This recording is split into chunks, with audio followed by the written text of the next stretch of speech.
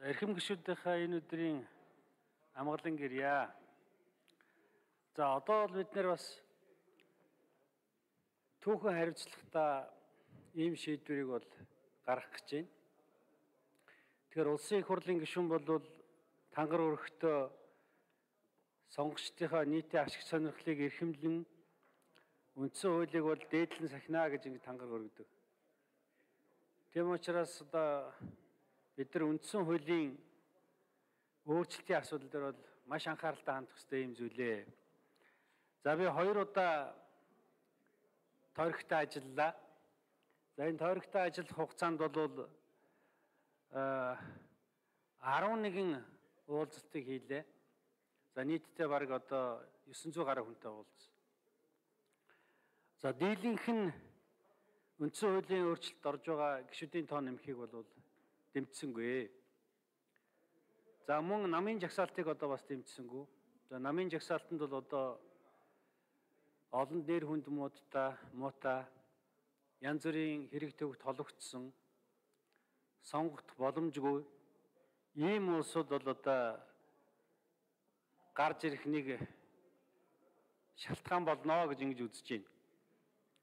Тийм учраас иргэдийн маань одоо дийлэнх олонх тэгж үзсэн учраас Миний хувьд бол одоо үндсэн хуулийн өөрчлөлтийг дэмжих боломжгүй. Би бол одоо бас нэг талаар улсын хурлын гишүүн олон түмний төлөөлөл би тэдний мандатын эрхийг хэрэгжүүлж байгаа ийм хөөн. Тийм учраас би бас одоо энэ үүргээ биелүүлэх ёстой. Нийт уулзсан иргэд дотор ер нь нэг 5 6 хүн л одоо гишүүдийн тоон дээр эргэлцсэн байр суурийг хэлж байгаа байхгүй юу? Тийм учраас одоо би тэр энэ иргэдээсээ сонгогчдоос сонгуулиар очих бүрдээ одоо би та нарын төлөө ясаад одоо ер нь дунд дотор зүтгэнэ гэж ингэж ярьчээд өнөөдөр би одоо тэдний сонгох эрхэнд бол халдаж чадахгүй. Яг гэвэл үндсэн хуулийн журмын тухай хуулийн 5-ын 4-ийн 2-т байдаг юм аа. Үндсэн хуульд өөрчлөлт оруулахдаа нам бүлгийн ашиг сонирхлыг илэрхийлсэн байж болохгүй гэж. Өөрөөр хэлбэл иргэдийн одоо сонгох эрх буурч байгаа учраас би энийг хэлж байгаа. Одоогийн үндсэн хуульд бол иргэд сонгох эрх нь давуу. Шууд сонгодог гişүү дээ. Тийм учраас энэ намын эрх мэдл сонирхол илэрхийлэгдэж байна гэж ингэж харж байгаа юм. За нөгөө талаар журмын тоо хуулийн 5-ын 4-ийн 3-т улсын одоо их хурл үндсэн хууль нэмэлт өөрчлөлт оруулахдаа үндсэн хуулиар хүлээн зөвшөөрсөн хүний үндсэн эрхийг дордуулж болохгүй гэж. Тэгэхээр иргэний үндсэн эрх бол сонгох эрх. Тэр тусмаа одоо улсын хурлын гишүүнээ шууд сонгох эрх. Тэгэхээр энэ эрхийг бол одоо дордуулж болохгүй гэж энэ үндсэн хуультай ижил үйлчилж байгаа ийм хууль байгаа учраас би одоо ийм хуулийн заалтыг бол зөрчиж болохгүй гэж ингэж үзэж байна. Тэгээ ер нь бол яг иргэдийн хэлж байгаа асуудал бол 3 жилд 3 удаа өөрчлөлт орох гэж байна гэж байна. 19 онд орсон саяхан бид бас одоо давхар дээл дээр үндсэн хуулийн цэцэн шийдвэрийн дагуу 2 дахь оруулчихсан. Одоо 3 дахь. Тэгэхээр энэ бол үндсэн хуулийн би зүгээр энийг хэлж байгаа нь хожим хожмын нэг өдөр бас одоо үндсэн хуульд өөрчлөлт оруулах гад ийм яриа гарах байх гэдэг дээр л бодож хэлж байгаа юм шүү. Өнөөдрийн биднэр энэ Монголын төр зогсчихгүй дараа дараагийн үеуд гарч ирнэ.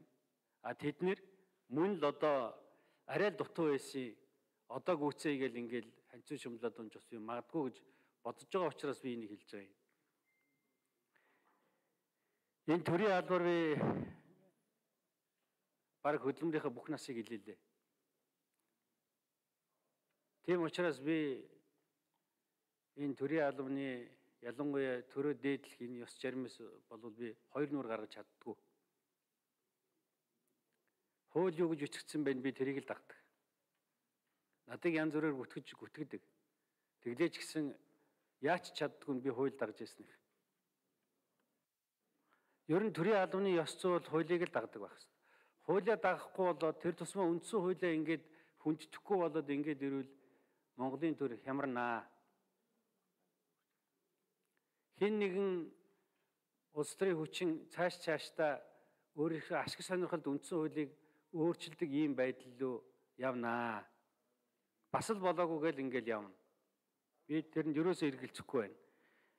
Би зүгээр энэ бүгдийг хэлэхдээ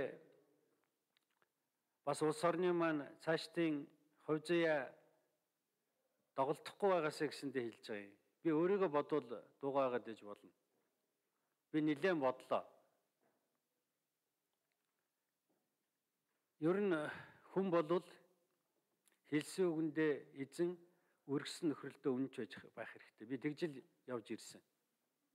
Тийм учраас би одоо тэр надыг сонгосон олон түмнийг бол би хоёр нуур гаргаж үнэхээр чадахгүй.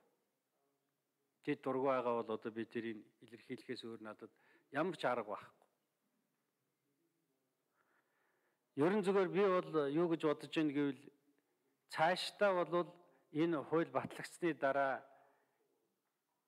нөгөө иргэд нэг долоод ордууллаа гэж ярьдгээсээ л дор юм ярих болов уу гэж би бодож байна. Гэхдээ цаг хугацаа шүүнэ. Цаг хугацаа бидний бүгдийг шүүн. Бидний бүх юм хязгаартай. Энэ хоёр бол үнэн. Цаг хугацаа шүүн бүх юм хязгаартай. Тийм учраас нэг өдөр бол түүхийн үнэнтэй бид нүүр тулнаа. Та нар бол улс орныхоо хувь зайг өнөөдөр шийдэх гэж байна.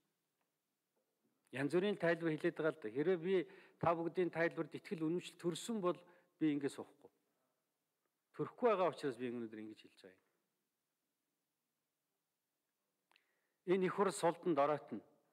Одоо бол манай их хурл бол их ардчилсан их хурл байхгүй юу? Бүгд үгээ хэлж чаддаг илэрхийлж чаддаг, ард түмнийхээ үзэл бодлыг илэрхийлж чаддаг цөөхөлөө учраас бусад орны парламентуудтай би танилцж байсан. Ийм арчилсан парламент бол цөөхөн бид. Төлөөлөл нэг хоёр хүн үг хэлгээл намын бүлгэн шийдчихдэг. А цаашдаа тийм болох байх. Парламент нэлээд сулдах сулдах байх. А парламент сулднаа гэдэг чинь бол бидний төрийн дархлаа суларнаа л гэсэн үг. Тэгээ өнөөдөр бол та бүхний одоо мэрэгэн оюухан шийдэг. А тэгвэл энэ бол хөнгөн бод шийдэх асуудал бол биш. Улс орны тэр дотроо олон түмний хувь заяа энэ багтаж байгаа. Ингэж бодож хандаасаа гэж бодож байна. А тэрнээс биш амьдрал үргэлжилдгээрээ л үргэлжилнэ. Өнөөдрийг ерөөсө бодож болохгүй.